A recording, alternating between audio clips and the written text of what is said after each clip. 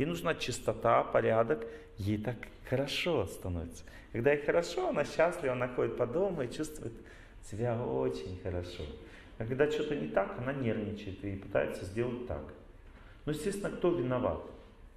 Это тоже надо разобраться, потому что у женщины есть такая особенность психики, ну оно вообще у всех людей есть, но у женщины сильно проявлено.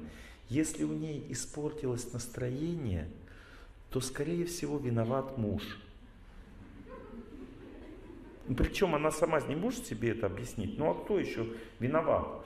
Давайте разберемся почему. Потому что, чтобы быть счастливым вообще человеком, вот у, у мужчины как все устроено? Если я несчастен, то это значит почему? Вот, вот вы, мужчина, вот ответьте, вот вы, допустим, если несчастен, почему вы несчастны? А, да, ну допустим. Вы счастливы. Но если вдруг несчастны, почему? А? Ну а почему? Кто из мужчин может ответить на этот вопрос? Ну вот вы несчастны. Ну почему? Вот почему вы несчастны? М? Что-то сделал не так. О, вот это правильный ответ мужчины. Ну я несчастен, потому что я что-то ну, тормознул там, что-то оплошал. Вот почему так мужчина думает? Потому что он сам должен победить свою судьбу. Понимаете? Он и поэтому чувствует, что он несчастен, потому что что-то ему не хватило в жизни для счастья, что-то он не доделал. Понимаете, так чувствует мужчина. Теперь, женщина, она рождается не для того, чтобы побеждать судьбу, а для того, чтобы быть счастливой. Это значит, что кто-то должен ее сделать счастливой.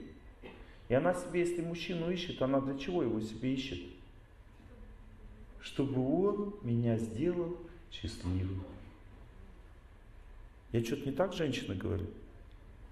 Так. Но если вы вот искали себе человека, который вас должен сделать, не так? Я говорю, вот не так? Нет? А кто вас должен сделать счастливым? Вы сами себя? А? В том числе. Ну хорошо, мы с этим разберемся чуть попозже. Хорошо. А сейчас я не буду на это сейчас тратить время. Вы можете воспринимать меня как угодно, можете принимать то, что я говорю, можете нет. Неважно, слушайте, если пришли. Вот. Итак, женщина, она хочет счастья как, как то, что ей должно быть даровано по жизни. А мужчина хочет счастья как то, что он должен достичь. И, соответственно, и поведение такое. Женщина же не достигает замужества. Вот она говорит, мне не встречается человек. Или не так? Или женщина достигает? Достигает замужества женщина или нет? Она ждет. Она хочет замужества. Она ставит целью, но она ждет. Вот это ожидание, это и означает женская позиция. То есть женская позиция такова, что ей нужно счастье. То есть само по себе волевое усилие у женщины, конечно, тоже есть. Она что-то делает, пытается как достичь, но принцип такой. Ее кто-то должен сделать счастливой. По этой причине она и обижается, когда она несчастна на кого? На того, кто ее должен был сделать счастливой. Понимаете? Поэтому в психике у женщины вот это есть, это вот чувство, что, допустим, если у нее испортилось настроение, то виноват кто? Муж. У меня была такая ситуация, жена подходит ко мне и говорит, слушай, у нас есть проблема.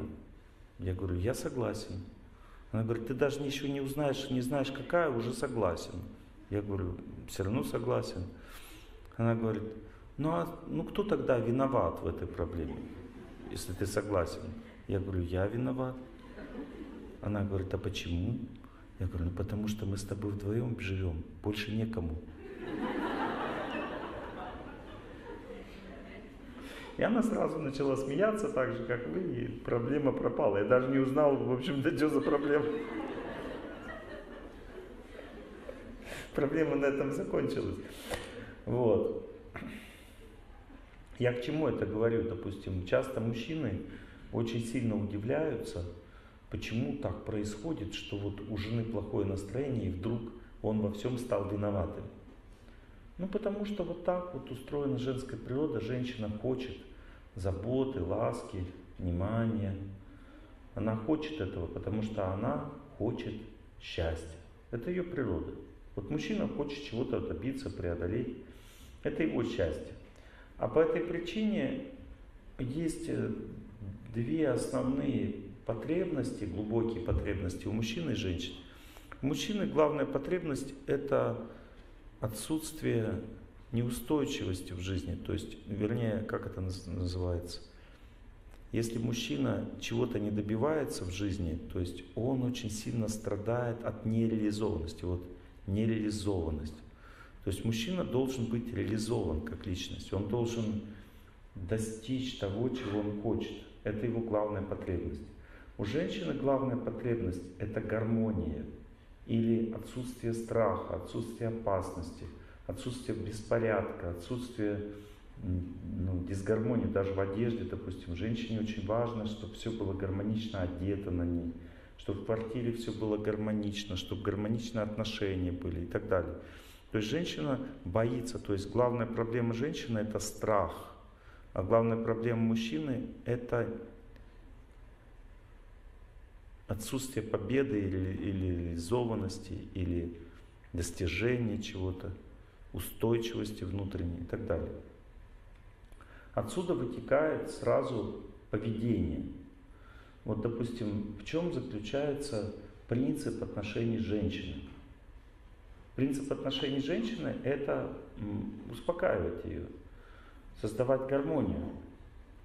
Ну, то есть женщина нуждается в, в том, чтобы создать ей атмосферу спокойствия и устойчивости, стабильности. Потому что главное еще в природе женщины это стремление к стабильности. То есть женщина хочет стабильности, а мужчина хочет развития. Есть женщине нужна стабильность. Поэтому отсюда вытекает, что женщина, допустим, очень долго привыкает к какому-то месту, и потом ей очень трудно его поменять. Ну, всегда есть везде исключения во всем, понимаете? Но я говорю основные какие-то моменты. Допустим, женщине, вот когда она учится, ей главное, чтобы все было по правилам. Вот, допустим, она берет какой-то материал, ей нужно, чтобы все четко было расписано. Тогда она очень легко усваивает этот материал. Мужчине все наоборот. Ему нужно опыт, ему нужен опыт. Вот он получил какой-то опыт с каким-то материалом, ему уже легко там. Если он этот опыт не получил, значит ему хоть инструкции пиши, хоть не пиши, ему они по барабану. Вот поэтому, допустим, в первых классах девочки очень хорошо учатся сразу, потому что им там все разжевывают, и они быстро все усваивают. А мальчик, он вообще не врубается, куда он попал. Вот мальчику нужно целый год, чтобы просто захотеть учиться, понимаете? То есть он, ему надо к этому привыкнуть. Девочка, если там все как бы ей расписано, разложено, зачем, почему, для чего, она тут же все, во всем разобралась. И тут же ей легко стало и понятно все. Но мальчику нужно э, попробовать все. То есть ему нужно получить вот этот опыт победы, преодоления. И через опыт мужчина воспринимает мир. Вот, допустим, даже разница восприятия лекций. Вот женщина как воспринимает лекцию? Она, допустим, если первый раз, она чувствует мое, не мое. Мое, не, не мое, она слушать не будет. Вот. Мужчина, он не чувствует мое, не мое. Он смотрит на первую лекцию. Вот кто из вас вообще меня никогда не видел, пришел первый раз на первую лекцию. Вот сейчас вот, вот, вот меня сравните. Он слушает и думает сначала, дурак, не дурак, дурак, не дурак. То есть он пытается понять, что, кто такой вообще, что за фрукт. Вот. Мужчина сначала, он просто пытается вот так понять. Потом дальше, когда он принял, допустим, он как слушает? Он думает, с этим согласен. Ну, то есть он сравнивает своим опытом любое знание, мужчина. С этим согласен, с этим не согласен, в этом разберемся. Если мужчину спросить после лекции, спросить, тебе лекция понравилась? Он скажет, ну я это все знаю. В общем-то, да, я все знаю, да, вот так. Вот женщина, кто из вас спрашивали у мужчин, понравилась лекция или нет? Как он отвечает? А? Я все и так это знаю, да. То есть это, а почему? Потому что он сравнивает со своим опытом, мужчина, когда слушает. Женщина, она когда слушает, она сначала пытается понять, мое, не мое. Если мое, то она вот так вот все всасывает, и у нее происходит апгрейд. То есть она сразу, и вот так раз, и вот так вот все начинает знание воспринимать, вот так все полностью. И она приходит домой уже новенькая. Муж как бы отпустил жену на лекцию, он ничего не подозревал. Она приходит с лекции новенькая. И поэтому у, жен, у женщины акции происходят. Она любит познавать все, но у ней сразу происходит апгрейд. Вот, допустим, у меня жена сходила на лекцию по коралловому клубу, я потом полгода жрал кораллы. Хочешь, не хочешь, деваться некуда, потому что жена же хочет помочь сильно. И если она тебе не может помочь, она сильно расстраивается. А жена расстроилась, счастья нет. Поэтому надо жрать кораллы. Потому что акция такая. Акция. Коралловый клуб называется. Вот. Следующая акция была после этого, это все без химии. То есть она где-то послушала другую лекцию, и все, химия, до свидания, все шампуни поменялись, крема для бритья поменялись, все как бы без химии теперь. Я не могу возражать, потому что я в этом ничего, она говорит, ты в этом ничего не соображаешь. И все, то есть, и если я начинаю сопротивляться, то она так сильно переживает, потому что это значит, что я не хочу себе блага. Понимаете? И вот если женщина куда-то, как некоторые женщины говорят, Олег Геннадьевич, меня отец, меня муж почему-то не пускает к вам на лекцию. Вот я понимаю почему. Потому что потом может быть все, что угодно. То есть, если жена что-то ей понравилось, то ее восприятие мира сильно меняется от этого. То есть женщина, я когда диссертацию писал, я там просто сама диссертация показала, что женщины в два раза быстрее усваивают материал, чем мужчины, и в два раза быстрее меняют свою жизнь в результате этого материала. А мужчины более устойчиво меняют. Вот если мужчина поменялся, то он потом остается в этом русле, а женщина может поменяться опять, когда новая акция будет. Что-то интересно, новенькое, она туда пошла дальше. Вот так вот устроено. Видите, мы совершенно разные. Итак, что такое уважение к женщине? Уважение к женщине означает поддержка. Ну, то есть нужно подстроиться под ее эмоции, то есть нужно с ней разговаривать так, как она хочет. Причем каждая женщина хочет по-разному, это свой мир. И вот с каждой женщиной надо разговаривать в близких отношениях по-своему и подстраиваться под нее. В целом это означает примерно так. Нужно очень по-доброму, ласково, нежно. То есть женщина вообще всегда склонна строить именно близкие отношения. То есть есть деловые отношения, конечно, женщина может строить деловые отношения, но в целом для нее дружба вот, означает близкие отношения. Поэтому женщина как дружит с другой женщиной? Она ее обнимает, целует. То есть это близкие отношения. Понимаете, женщины склонны к близким отношениям. А близкие отношения означает, что тебя надо, надо, чтобы ее сильно понимали. То есть если она не чувствует, что ее понимают, значит тогда ей незачем вообще с этим человеком строить отношения. Ей нужно понимание для того, чтобы текла энергия любви. Для того, чтобы была любовь, нужно, чтобы ее хорошо понимали, понимал человек. А это возможно понять только в близких отношениях. Поэтому женщина она сначала пытается разобраться в мужчине. Она прислушивается, как он говорит, как он себя ведет, может он меня понимать или нет, ухаживает, не ухаживает, заботится, не заботится. Потому что если не заботится, значит нет любви. Любовь для женщины означает заботу, ухаживание, ласковое, нежное поведение. И еще очень важно для женщины чувствовать стабильность. Означает, есть ли работа или нет, есть ли квартира, как человек себя чувствует в жизни, у него переменчивая как бы, жизнь или устойчивая, он имеет постоянную работу или не, не имеет, он предлагает замуж или не предлагает.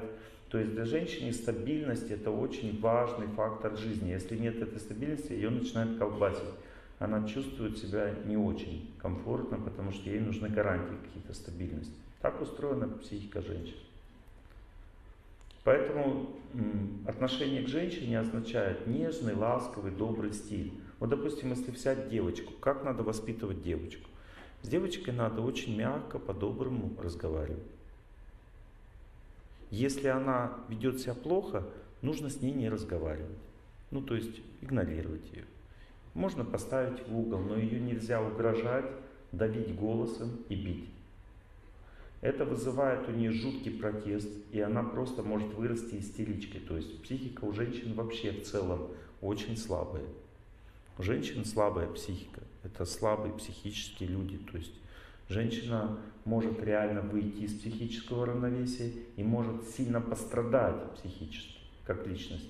Поэтому природно женщина ищет себе устойчивость. И эта устойчивость не только в мужчине, а также во всем. Например, женщина вешает на себя украшения специально, у нее есть чувство, что ей подходит, что нет, эти украшения укрепляют ее психику. Она укрепляет свою психику с помощью одежды, с помощью музыки, с помощью цветов разных и так далее. И все это она делает прежде всего в своей квартире. Поэтому каждый день женщина создает неповторимый, так сказать, пейзаж внутри квартиры с целью чувствовать себя очень крепко и устойчиво. Ну, то есть это начиная от обоев, заканчивая там кроватями, диванами там, и так далее. И самый глупый подарок для женщины на день рождения – это обстановка в квартире. Ну, то есть, если муж решил сделать приятно и подарил новую обстановку в квартире, какой, какой шанс, что он попадет в точку? Как вы думаете, женщина? А? Нулевой, правильно. Я провел эксперимент. Я вообще могу почувствовать, что кому подходит. Я могу почувствовать это. Я на это тренировался. А. Вот вам, допустим, вот женщина, вам вот, например, еще нравятся светло-зеленые цвета. Так? Да, вам. Так? Так. Вот. А вам не нравится светло-зеленый, вам нравится очень темно-зеленый цвет, такие темные, точно. Вот. Я в таким же точно уверенностью, когда я был в Индии, а, послал жене 40 видов сережек, который, я выбирал из там 500 где-то видов, 40 видов я послал, я был уверен просто, что ей понравится. Ей понравилось из этих 40 всего два и когда я привез эти две вида сережки, она одни стала носить, а другие она сказала, я в этом виде ошиблась. После этого я понял, ну и эти тоже, вот, которые я ей купил, она очень редко носит. В основном она носит то, что она сама себе купила. А чтобы ей что-то купить, это полный геморрой. Она смотрит там на эти сережки, ходит, смотрит и так, и сяк. И что-то не так говорю, женщина? Все так, да? Так вот, Смотрите, мужчины, если вы хотите счастья в отношениях с женой, вы должны понять, что ей нужно. Женщине нужно спокойствие, а для этого нужно с ней разговаривать мягко, по-доброму. Вот женщины сердце очень склонно к истине. Если ты говоришь что-то правильно, она примет, но не обязательно тебе об этом покажет. Но она может принять сразу. Но не надо на нее давить. Вот если мужчина хотя бы чуть-чуть на женщину психически нажимает, у нее клинит голову. Сейчас объясню почему. А вот у мужчины слабое место вот здесь, вот в области сердца, есть три психических центра, которые связаны с энергиями души. Вот нижний психический центр находится возле паха. В области паха он связан с бесстрашием и страхом. Поэтому, когда окопная болезнь, да, танк едет, у человека что заклинивает? кишечник, да? То есть страх вот здесь вот появляется, внизу живота. Ну и, соответственно, там реакции соответствующие происходят.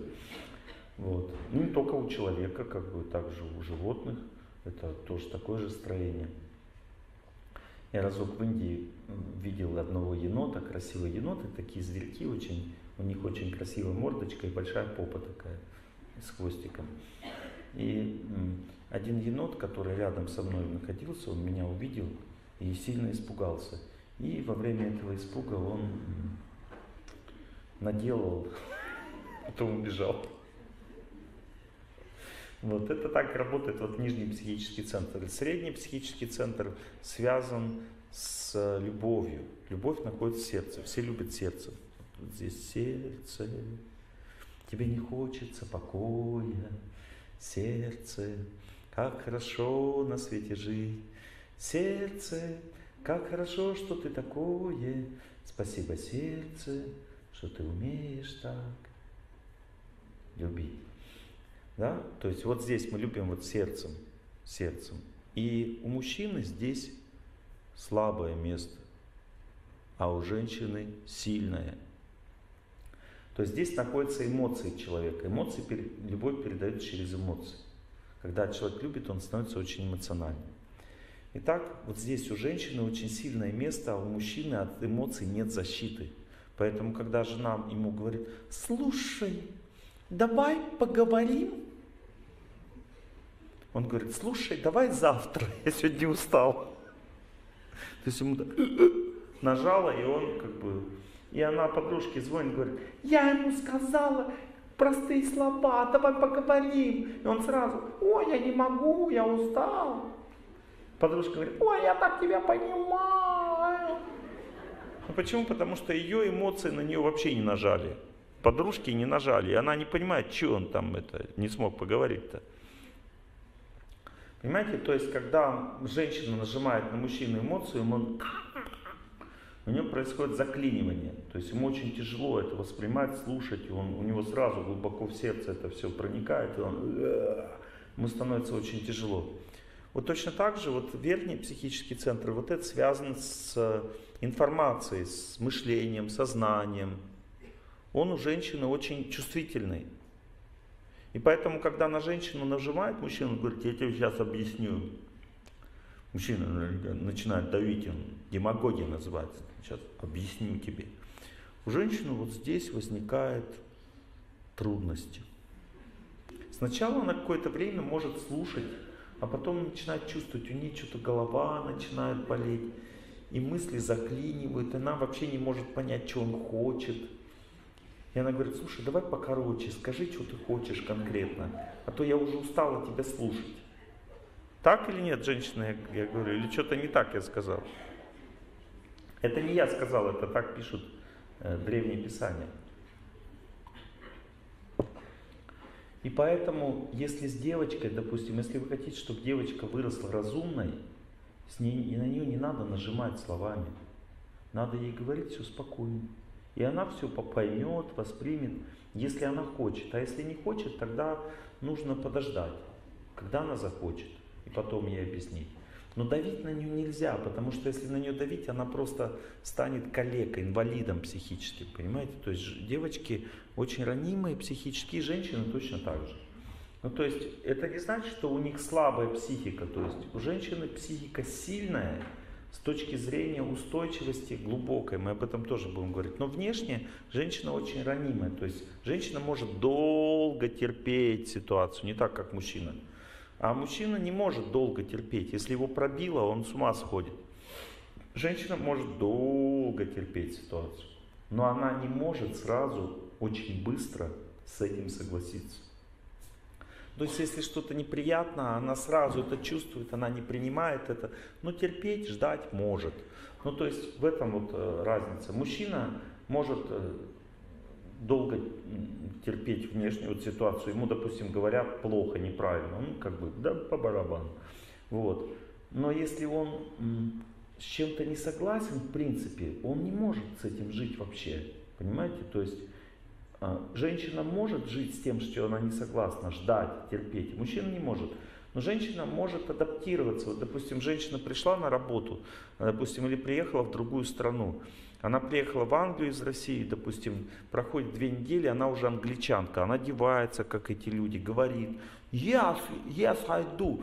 Ну, то есть, ну, yes, I do. То есть она там уже, э, у нее акцент уже там э, какой-нибудь э, британский.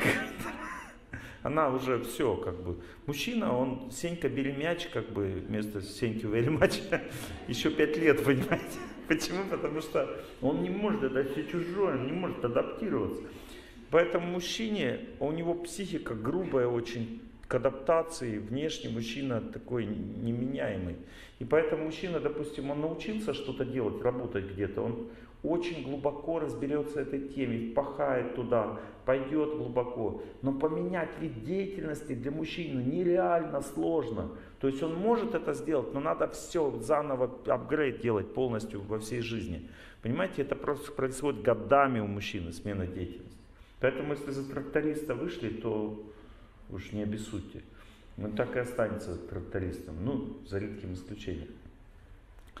Вот. Может быть, он переделает себя, но это будет очень долго и трудно. Женщине поменять специальность вот так вот. Она пошла где-нибудь, поучилась уже, джик, она уже другая. То есть она была такая, теперь другая. Ну, с точки зрения деятельности. Но вот что женщина совсем не может поменять, так это свой характер. Причем имейте в виду, женщины, что мужчина может. Потому что женщины думают, что мужчина не может поменять свой характер. Вот если он грубый человек, он так и останется грубым. Ничего подобного. Мужчина может стать вообще не грубым. А вот женщина, если обидчивая, она так и останется обидчивой. Если она ранимая, она так и останется ранимой. Если она капризная, значит останется капризной. Если она, допустим, быстро устает, так она будет быстро уставать всю жизнь. Вот мужчина быстро устает, он может переделать себя и не уставать быстро. А женщина не может. Понимаете, у нее так психика устроена, вот поэтому она вот какая есть, такая есть. Такой уж у нас характер особенный такой. Вот. Женщина особенный такой характер. Что мужчина не может переделать? Мужчина не может переделать свои привычки. Чем отличаются привычки от характера? Привычки – это то, что человек делает внешне. Допустим, курит, пьет, там, играет в волейбол, или там ходит на рыбалку, или еще что-нибудь, домино там. Ну, то есть, вот у мужчины есть привычка, ему изменить ее вообще просто очень трудно. Женщине свою привычку изменить вот так вот. Если, допустим, она захочет не пить, она быстро может это сделать, или не курить, или если она захочет, понимаете, то есть ей надо просто захотеть. Раз плюнуть, то есть все поменять в жизни. Мужчине внешне поменять всю жизнь просто катастрофа. Очень сложно. Это вот ответ на вопрос, вот девушка там говорит, почему он вернулся назад к той жизни, которую вел. Потому что мужчине очень трудно поменять свою жизнь, свой образ жизни. Это катастрофически тяжелая задача любого мужчины. Причина заключается в том, что основная трудность женщины – это эмоциональное напряжение. Поэтому женщина, она отдыхает с помощью обстановки и близкого общения. Ну, то есть она снимает с себя эмоциональное напряжение с помощью обстановки и близкого общения. А у мужчины эмоционального напряжения нет. У него есть э, психофизическое напряжение, то есть он устает от работы, и это означает, что ему надо как-то отдыхать. А мужчина или он искусственно отдыхает, или естественно. То есть искусственный отдых означает смотреть хоккей, смотреть футбол, выпивать, там, еще что-нибудь. Естественного отдых означает футбол, хоккей, там, лес, закаливание, спортзал, шахматы там, и так далее. Ну, то есть, ну, или человек включается в какую-то активную деятельность, или он просто пассивно пытается снять себе напряжение. Обожраться на ночь, это тоже классика жанра. Вот, это все вредные привычки разрушают жизнь мужчины. Жизнь женщины разрушает психическое перенапряжение. Ну, то есть женщина, она, допустим, терпит, терпит, терпит что-то, и потом чух, у нее сорвало катушки, и все. То есть она уже не может терпеть. Ну, то есть мужчина напрягается психофизически, означает, что он не чувствует себя устав, ну как бы, его спросят, если его спросить, ты как себя чувствуешь? Он говорит, нормально. И идет смотреть телевизор. Если спросить, зачем ты его телевизор смотришь, он говорит, хочу и смотрю. А если посмотреть вглубь, то причина только одна. Он пытается снять напряжение себя, но это делает неосознанно. Женщина же, она конкретно говорит, что я устала, я не могу. Поэтому, если говорить об усталости и болезнях, то у мужчины нет болезни, мужчины и усталости. Мужчина, ну, он есть усталость, он если устал, то значит уже все. Вот женщина, допустим, мужчина говорит, пришел с работы, говорит, я устал. Что это значит? Женщина. Это значит, что он скоро помрет. если вы что-то не сделаете, понимаете? Потому что если мужчина устал, это значит уже грань его физических и психических возможностей. Понятно, женщина? Женщина говорит, я устала, что это значит? Ничего не значит. Она чуть-чуть отдохнула и уже не устала. То есть женщина устает, устает очень быстро и быстро восстанавливается.